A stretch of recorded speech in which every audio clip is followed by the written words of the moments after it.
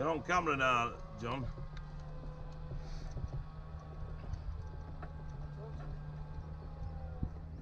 Then I've got my thing on, haven't I? Alright, that's good.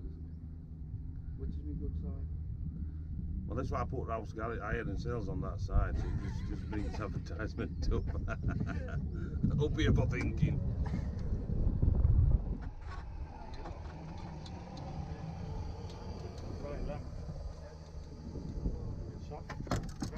isso aí.